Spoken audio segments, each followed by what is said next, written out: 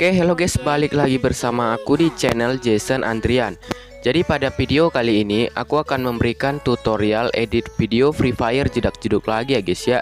Menggunakan dua aplikasi saja. Yang pertama adalah aplikasi KineMaster dan aplikasi CapCut.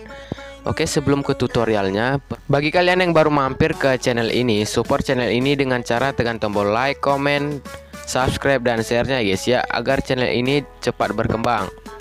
Oke langsung aja kita ke tutorialnya. Pertama-tama kalian masuk ke aplikasi KineMaster Kalian klik icon plus. Pilih aspek rasio 16 banding 9 Kemudian di sini kalian tambahkan video Free Fire yang sudah kalian rekam. Oke untuk contoh videonya seperti ini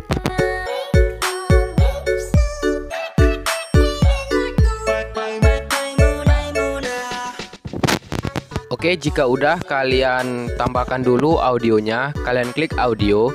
Nah, untuk audionya ini udah aku sediakan di deskripsi ya, guys ya. Kemudian kalian klik dulu videonya. Klik icon kotak dua ini. Lalu kalian zoom aja videonya. Oke, kurang lebihnya seperti ini. Kalau sudah kalian klik icon sama dengan klik checklist. Selanjutnya kalian putar dulu videonya, kalian tandain beat lagunya guys.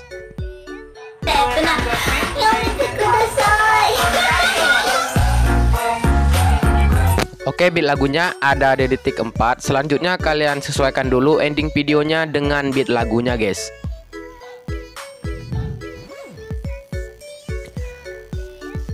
Nah pas ada icon emote seperti ini kalian potong dulu videonya guys Nah, di sini kalian klik videonya, klik icon gunting, klik bagi di playhead. Kemudian kalian geser aja ke kiri sedikit. Nah, di sini kalian klik lagi videonya, klik icon gunting, klik pangkas ke kanan. Selanjutnya kalian sesuaikan lagi ya guys ya ending videonya dengan beat lagunya.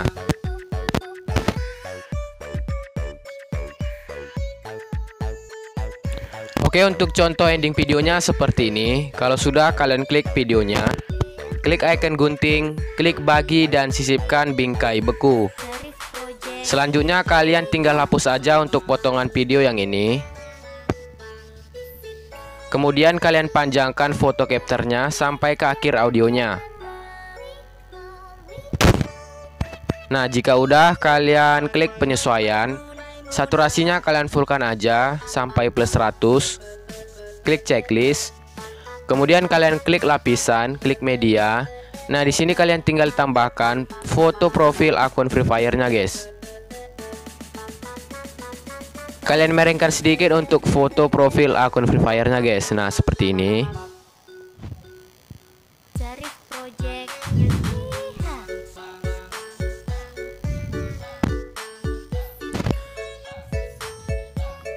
Nah, jika udah kalian panjangkan fotonya sampai ke akhir audionya. Nah, kalau sudah selanjutnya kalian tinggal simpan aja untuk videonya. Kalian klik icon panah di pojok kanan atas. Kalian atur dulu resolusi videonya. Jika udah kalian klik ekspor. Setelah itu kalian tunggu pengeksporan videonya sampai selesai. Oke, selanjutnya kalian masuk ke aplikasi CapCut, klik proyek baru. Kemudian di sini kalian tambahkan video yang sudah kalian ekspor di aplikasi KineMaster tadi, guys.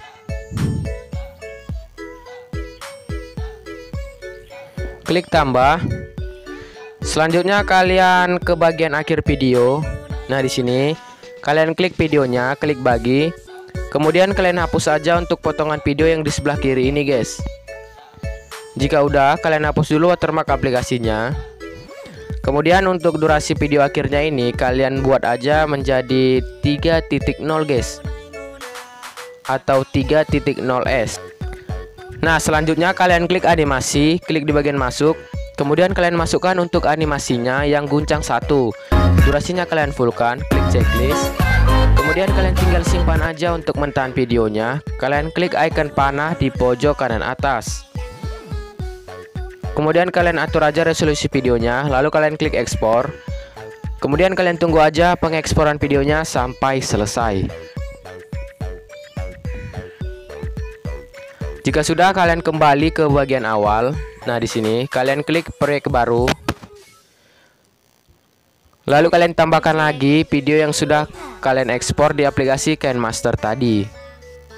Klik tambah. Jika udah kalian bisukan dulu audio klipnya. Kemudian kalian klik tambahkan audio, klik di ekstrak.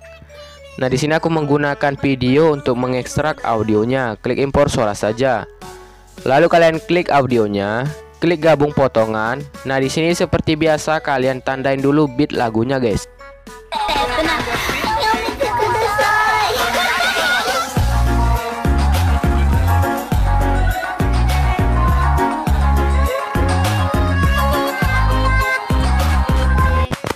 Kalau sudah, kalian klik checklist. Lalu kalian hapus dulu watermark aplikasinya. Kemudian kalian ke bagian titik kuning yang pertama ini. Nah, di sini kalian klik videonya. Klik bagi, lalu kalian tinggal hapus saja untuk potongan video yang di sebelah kanan ini, guys. Nah, jika udah kalian klik icon plus. Lalu kalian tambahkan mentahan video yang durasinya 3 detik tadi ya, guys ya. Klik tambah. Jika udah untuk durasinya ini kalian buat menjadi 2.4s. Selanjutnya untuk yang di sebelah kanan ini kalian buat ke titik kuning yang kedua ya guys ya. Nah, seperti ini. Nah, jika sudah kalian klik icon keyframe ini guys. Kemudian kalian perbesar aja. Lalu kalian miringkan aja untuk videonya ke kiri sekitar negatif 2 derajat ya guys ya. Nah, seperti ini. Lalu kalian zoom.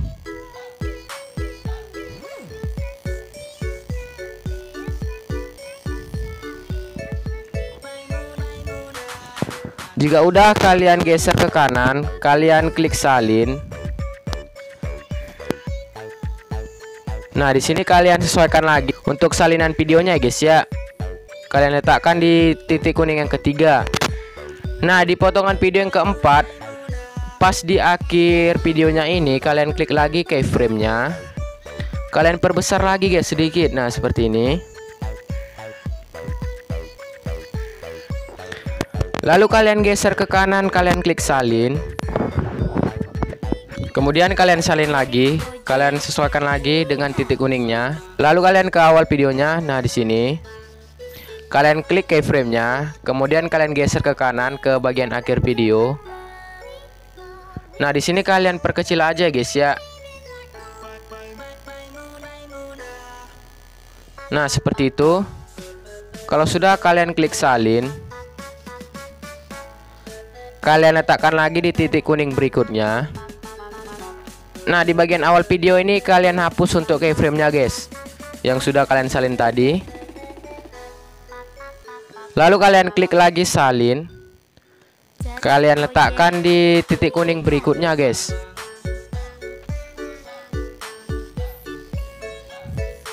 Nah jika beat lagunya atau durasi lagunya agak panjang seperti ini di situlah kalian zoom ya guys ya untuk videonya. Nah untuk salinan video seperti ini kalian geser aja ke awal video ini Nah di sini kalian klik keyframe-nya Lalu untuk akhir videonya kalian kecilkan. Kalian luruskan lagi untuk mentahan videonya. Nah, seperti itu. Sampai 0 derajat ya guys ya. Nah, kalau sudah kalian klik salin. Untuk awal video kalian hapus keyframe-nya. Kemudian kalian panjangkan lagi sampai ke titik kuning berikutnya guys.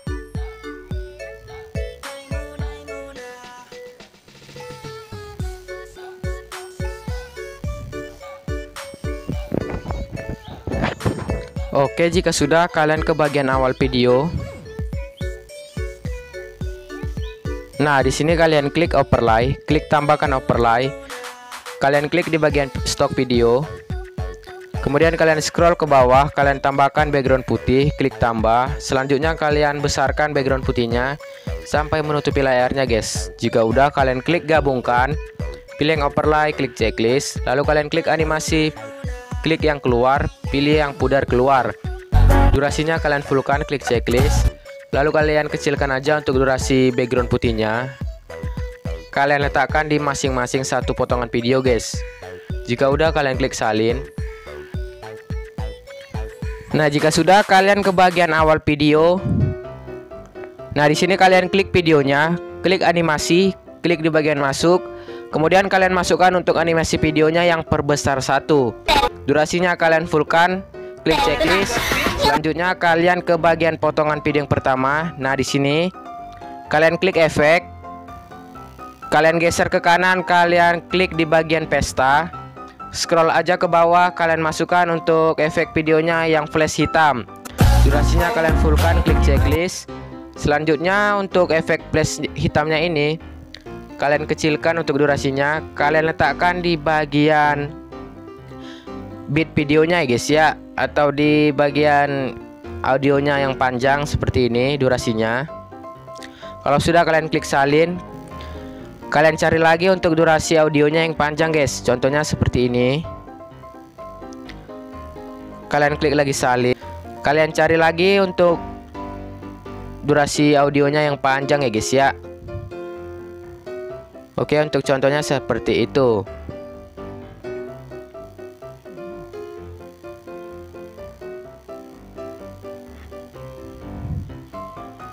Nah, jika sudah, selanjutnya kalian tinggal simpan aja videonya. Kalian klik icon panah di pojok kanan atas. Kalian atur resolusi videonya. Kalau sudah, kalian klik ekspor. Setelah itu, kalian tunggu pengeksporan videonya sampai selesai.